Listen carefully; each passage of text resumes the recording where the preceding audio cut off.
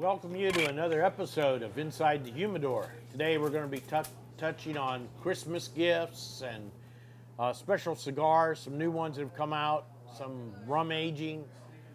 We're also going to uh, talk a little bit about how uh, cigars can uh, be part of uh, family gifting and different hobbies that can go on in a family. So stay tuned. This is a special show.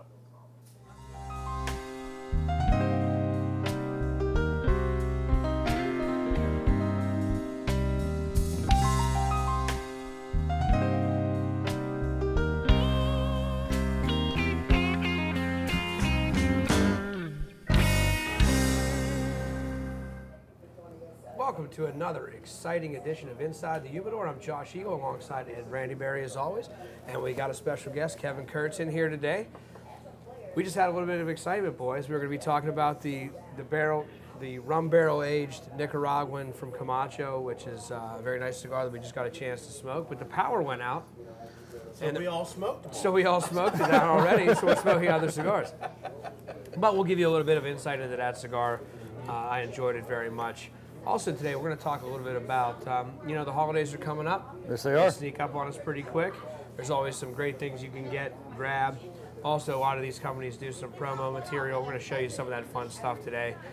And then finally, we're going to be talking about clubs, cigar clubs, and the type of club, you know, especially like membership clubs with certain types of cigars or sample clubs where they send you in the mail or catalog clubs, things like that, where they let you know a little bit on the inside of, of what a club is all about. So without further ado, we also have it sponsored today by Highland Park 12-year-old Scotch from the Orkney Highlands in Scotland. It's a nice um, floral citrus blend, not too much of the peat. Smoke is going great with the cigars. Um, without further ado, let's talk a little bit about the Camacho Nicaraguan barrel aged cigar that we just had the, the pleasure of smoking. I think Kevin I'm might still, still I'm have still it. working Kevin on still it. has still it. working on it. All right. Um, they have a Corojo Nicaraguan wrapper from Esteli that they took and they put in Flor de Caña barrels. If you're not familiar with Flor de Caña, it is a Nicaraguan rum. It's fantastic. it is.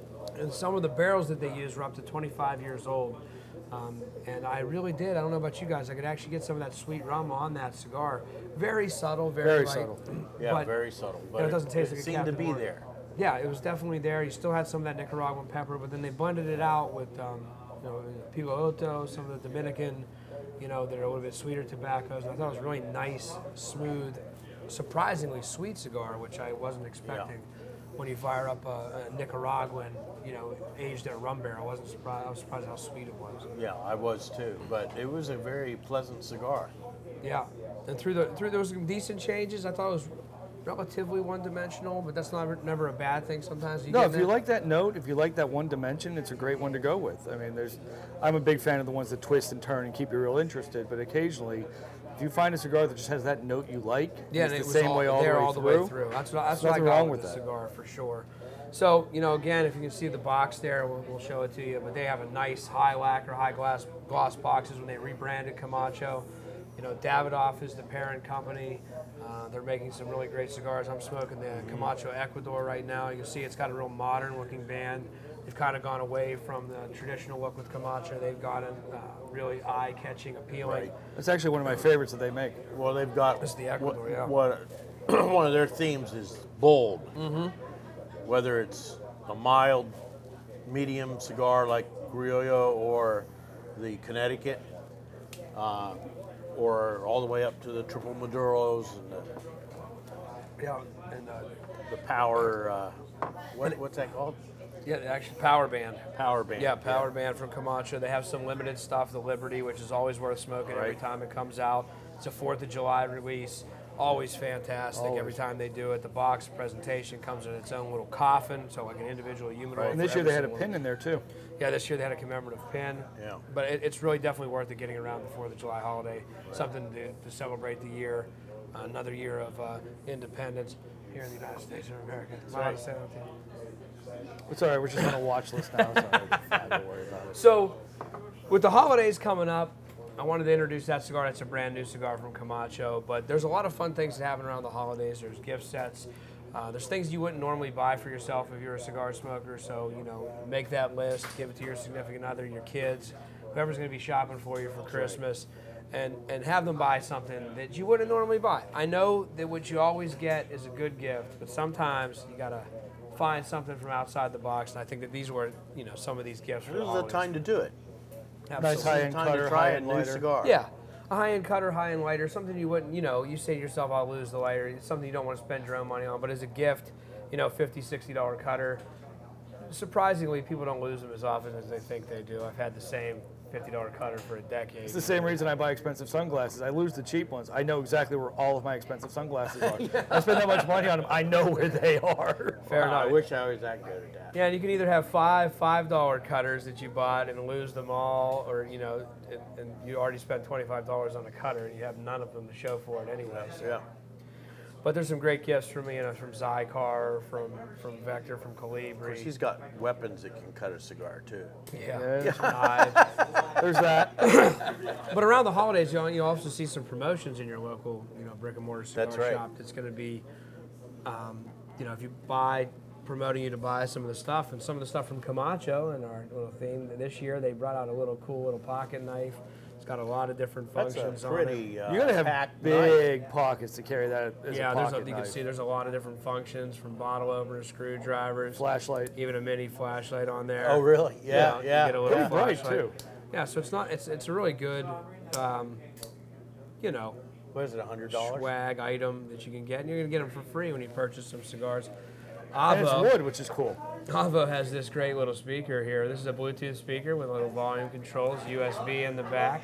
Has a little power, like it's a little amp. You know, that um, the gentleman who makes Avo cigars was into jazz. He actually passed away this year. Yeah, you did.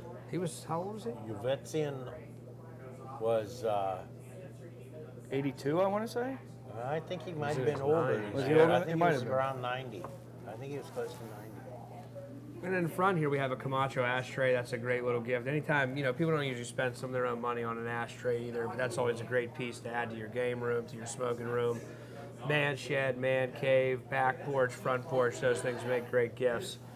Then there's your traditional. This particular one that's right here Samplers. is a sampler. You know, you're getting the taste of, in this particular one, it's A- H. Upman, Monte Cristo, and Romeo and Juliet. You get a sampling of their cigars across, and usually they're going to offer it as a discount. You know, Yeah. it's going to be well discounted for nine cigars. And that is. This partic- particular one, I'm not even sure what the retail is on that, but it's way less than buying nine sticks, you know, off the Yeah. shelf. Well, just three Monte Cristos it cost you over $30. Oh, yeah. Uh, Mm-hmm. Toro. So uh, Right there. I'm not sure what that price is, but I was thinking it was somewhere around $75 or something. Yeah, I think it might even be less. I think it is Wow. less. Yeah. So there's a, there's good value in those gift packs. Yeah. And there's something fun. They're easy to wrap. You know, if you're doing the, the mm-hmm. Christmas presents, they're in the little cellophane. Most If you're them like have me, them. you like easy to wrap. easy to wrap in a square. Someone always hands me some doll or something that's not in a box. Right. And I have to wrap it for Christmas. I can't Forget tell you. it. No, I can't it tell you the last time I I- wrapped my own Christmas presents. my wife does the ones for our family. My mother does the ones for my wife. I ain't wrapped shit in years. I know the same feeling. I get the tag. the tag. tags. Yeah. Yeah, I do the tags. Yeah, yeah, I do yeah. the tags. From Pop Pop to whatever grandchild. Here's your tag. Yeah. well, me on the other hand, I actually enjoy wrapping. yeah. Well, you you do a nice I job. wrap well, you're the. Martha Stewart of the cigar world. That's right, I I'm the Martha Stewart of the cigar industry. And that's another thing it comes down to is there are nice baskets that can be prepared by certain people that have, you know, a basket that's cigars. It makes a great gift, makes a great giveaway for an office party, something like that. Right. You know, baskets can be a, uh, a fantastic gift for the holidays. But the lighters, the cutters, the gift packs, the little swag items, mm-hmm. ashtrays, humidors, things you might not ever buy for yourself, would always make great gifts around the holidays. That's right. Absolutely. This is a store, by the way. You haven't caught that. Yeah.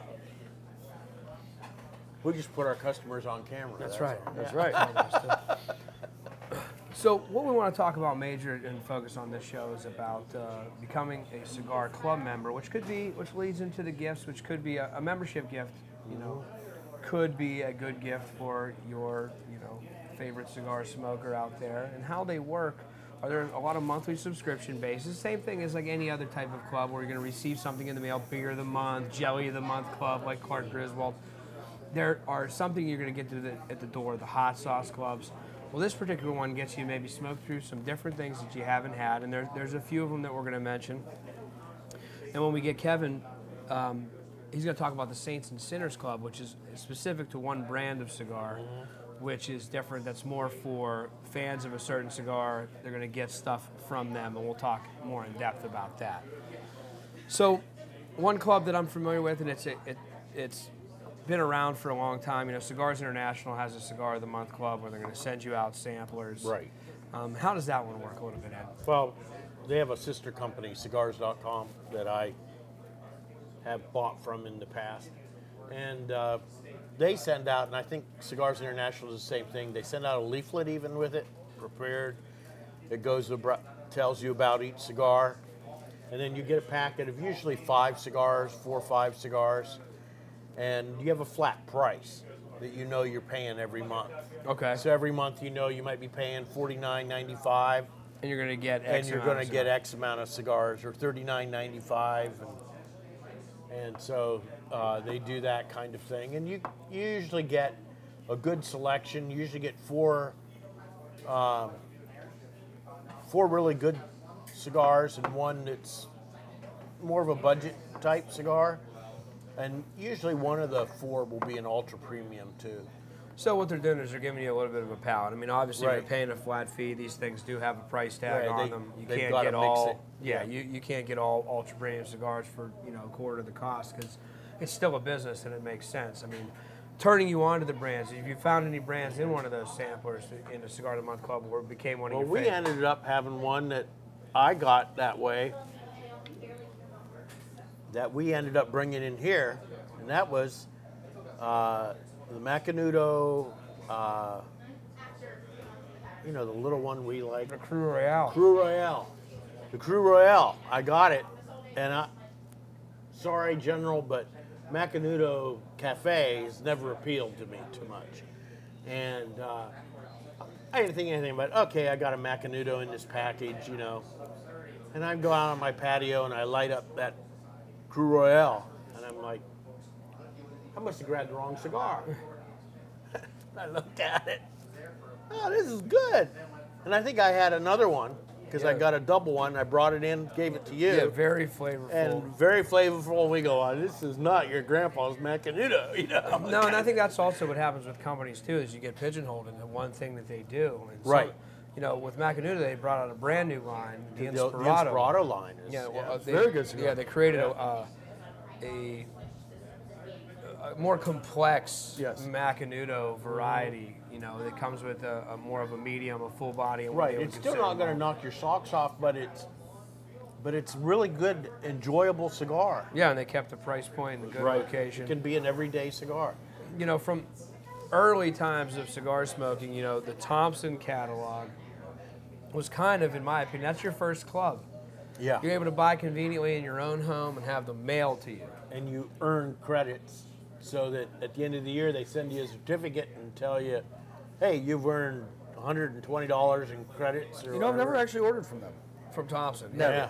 It Yeah. is. It was an older generation's. Yeah. Um, they started magazine. as a catalog Yep. Yeah. company. They didn't start online. They started. They were doing catalogs before any of these other people went online. Right. I think before online existed, Yeah. Thompson Probably, has been doing yeah. catalog cigar Yeah. sales.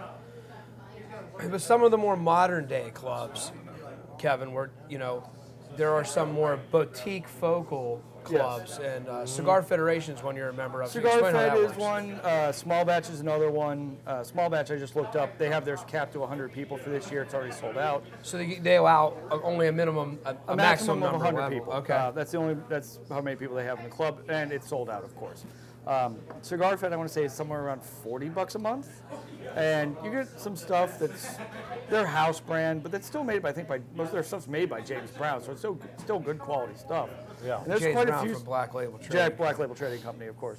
Um, and I found some really good cigars from them that I never would have tried. Uh, they have one that's called Tiger Kitty Soft Paws. It's a Connecticut. it's a really good Connecticut. Um, there's another one that's called the Panda Welfare. Comes in a little Chinese food container. Yeah. The top of the paper has uh, fried rice printed on it. really a great cigar. I never would have tried that before. But they also send you stuff like the 1502 XO I've gotten one time. Uh, one of my favorites we brought in, the uh, Flor de Selva. Yeah. The- Just the, not the Maduro, the uh, Connecticut they have. Fantastic cigar. Never would have heard of it. And I was sitting here smoking, and I said to our regular contributor, the other Josh, said, "Hey, this is really, really good. We should probably bring these in." Um, which brings us also to Saints and Sinners. Saints and Sinners is a private club by Tatuaje. Uh, Tatuaje is run by Pete Johnson, uh, Casper, and um, Kyle. Uh, all three of them are involved. And that's about 150, 155 a year. You get 15 cigars, three five packs, all of the same, you know, the same five cigars per five pack. Um, you get a you get a nice little coin. I don't know if you can see that here. Little challenge coin.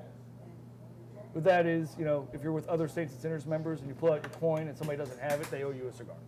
Uh, this year they give you a cool little lighter. Cool little lighter here.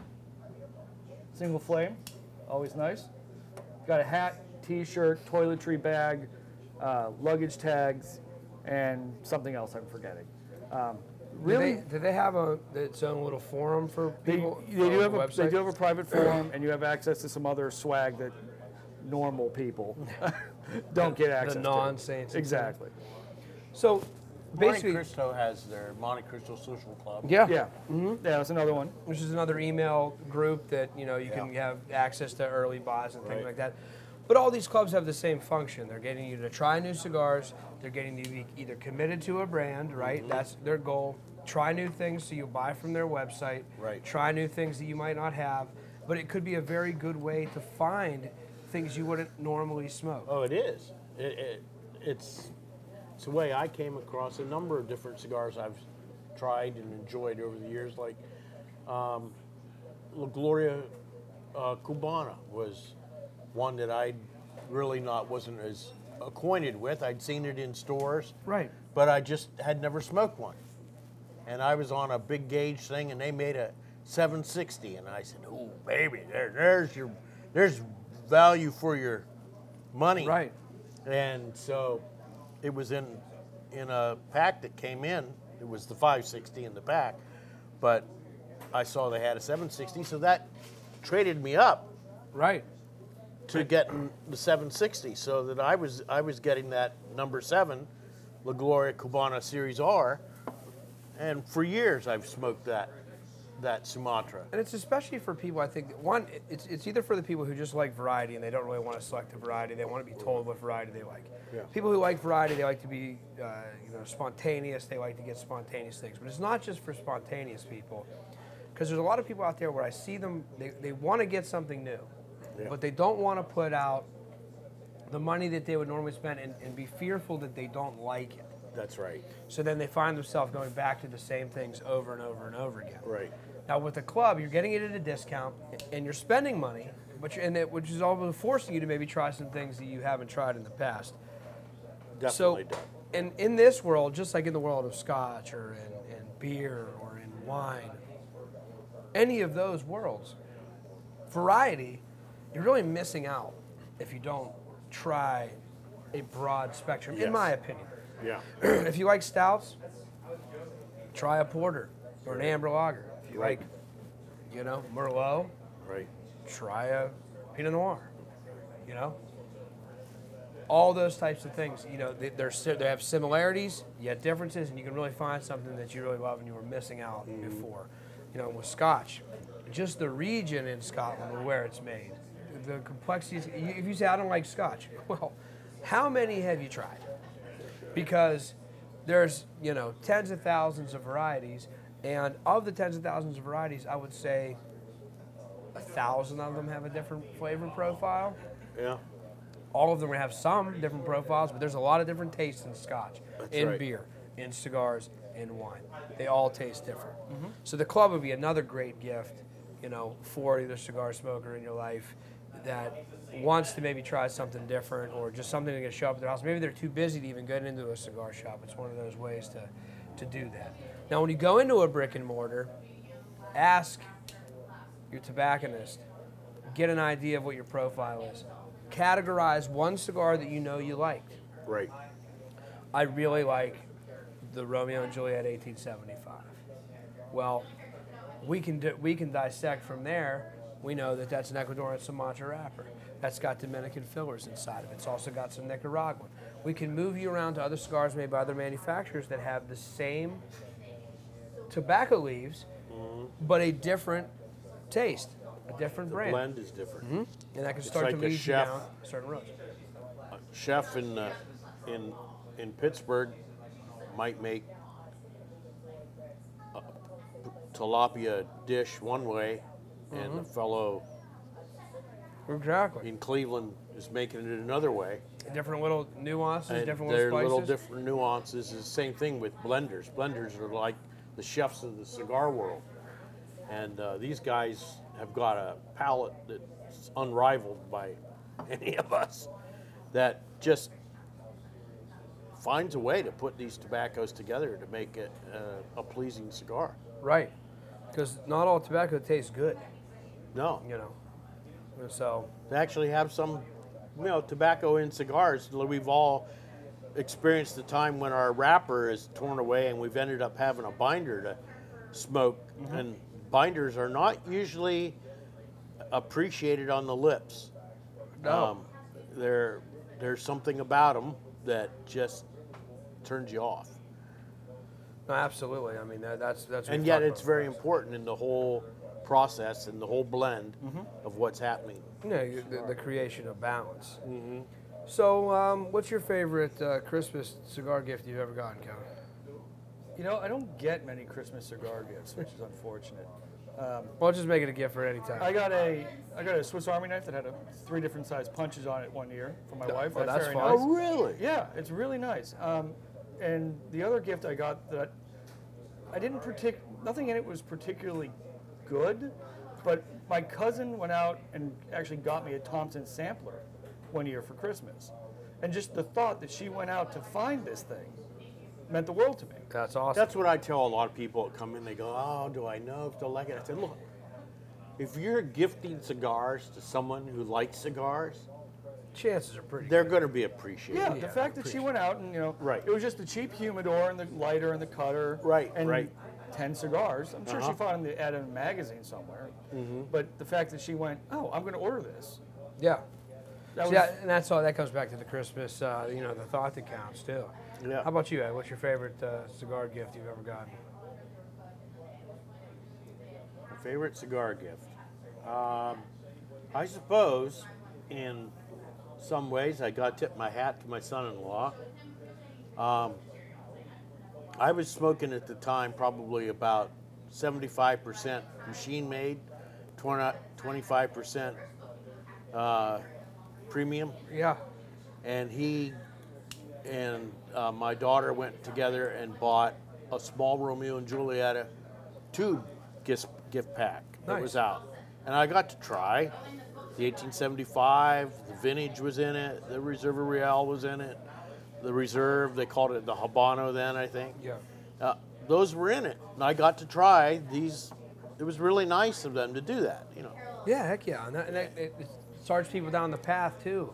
You know, like getting somebody a humidor with some cigars in it. Well, now they have a built-in place to store cigars. You know, people don't know where to start.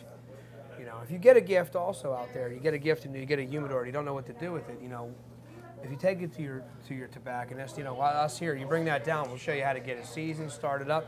We'll show you how to fill it up. We'll show you how to fill it up on a budget too. Mm-hmm. And uh, where it's going to keep good humidity, right. and you're going to have you know cigars to smoke that are at your house that you can get to guests that are going to be well maintained and you know not embarrassing. But there is a level of maintenance that comes into your humidor and humidor care.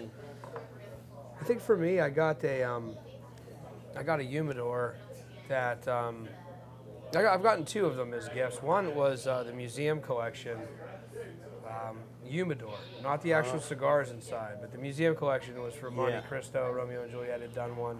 They came with these boxes with artwork inside of them, and uh, I, I really enjoyed that one. I still use that one today, and I got a. You know, and I can't think of the brand, but it was one of the ones that were promotional, and I want to say it was a Davidoff promotional humidor. and it's all inlaid. It has like an ashtray with a cigar on it. And it's a beautiful gift. It was a thought that counted. It just came in the mail randomly, no, no, for no occasion. Someone just found it, thought that I would like it, And they were right. and they were right. So, Right.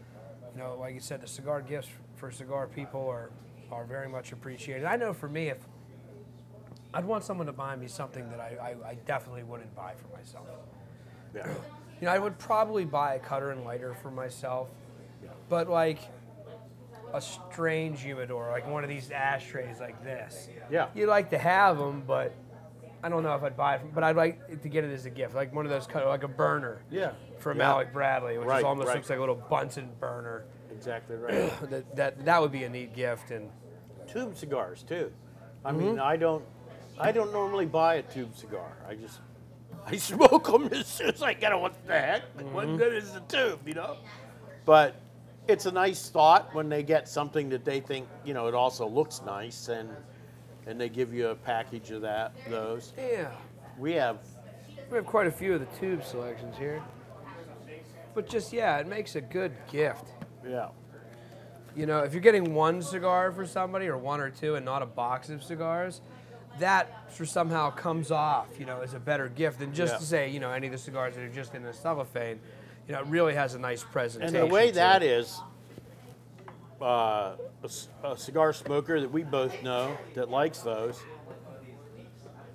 has said that the tube cigar he notices a difference because the tube in the Monte Cristos are cedar lined, Right.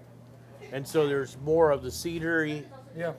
uh, flavor to Yeah, it, little- and he enjoys that little bit of cedar to the cigar. Yeah. Because you kind of, it's like a Cedros Deluxe, you know. Mm-hmm. they, they'll wrap cigars in cedar to get you that little bit extra cedar taste. It Mm-hmm. actually changes, just a, a very tiny, you know, profile change. But It's subtle, but it's still there. Yeah. so. shows you a lot about how I- I always I maybe say this every season, at least once a season. The amazing thing about cigars is that we're using leaves that have already been picked, and we're getting flavor from them. Right, absolutely. And not only do we get flavor from them initially, they continue to reward us with flavor if we take care of them. Right. Yeah. Yeah, indefinitely. Yeah. Which is a that, Yeah, can't do that with a maple leaf. I'll tell you. and, uh, you can put it in a uh, photo album. or Yeah, yeah. scrapbook, Boy, if I was scrapbooking cigars, man, I'd have a heck of a Mm-hmm. cigar scrapbook. Yeah, you would. I have a granddaughter who has a uh, one of the big gallon bags, Yeah. and she goes to my ashtrays and grabs my bands if I've taken them off properly. If not, she scolds me, and uh, she's saving these up, and she's going to get. She doesn't know it yet, but she's going to get a uh, a scrapbook Well, that's fun. at Christmas where she can glue them in. Some Which is a people good call thing for a kindergartner. That's right. Some people can collect stamps and some people can collect cigar bands. Yeah. Can't go wrong either way. No, you can't go wrong either way. so, get out there, get some gifts from the cigar people in your life. You know, Yeah. check out those clubs like Saints and Sinners, Small Batch, um, I'm drawing a blank. Cigar Fed. Cigar Federation. You know, the more traditional stuff would be Ours. CI, Thompson. You know, you can sign up for one in your local brick and mortar, like at the Smokestack and Moon. You know, they can do a sampler and send it out to you that way from stuff that they get in the store that's new. Just takes an email, maybe an address. But the holidays are coming. And we've been known to I customize things for people. Yeah, there's a little bit of a customization that goes on. but so get out there. There's going to be some purchasing power this this Christmas. We're going to get some cool gifts when you buy. Uh, get a sampler pack for someone in your life. Send them to a club. That's cool. That was a cool ending. Yeah, it was. Let's get that on there. What is that? Now Va- that Imperial Vader's March. March. Imperial March. For Ed Brandyberry and Kevin Kurtz, I'm Josh Eagle. Get out there and burn one.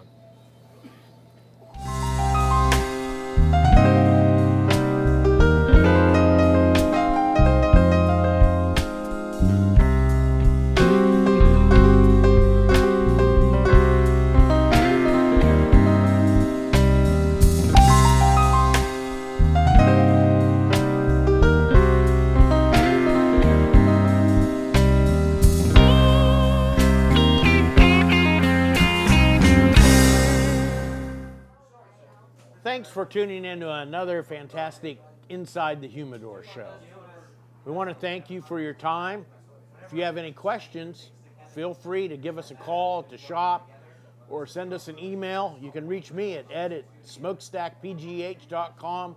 There are other uh, email addresses that'll appear on the screen.